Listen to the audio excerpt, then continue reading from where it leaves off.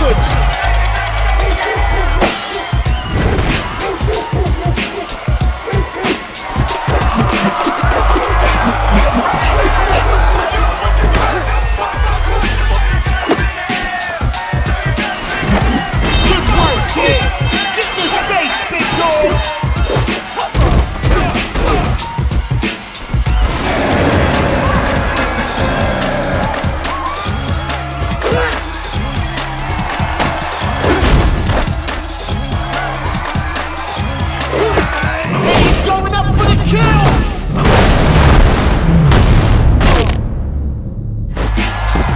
acting like a bitch, dog!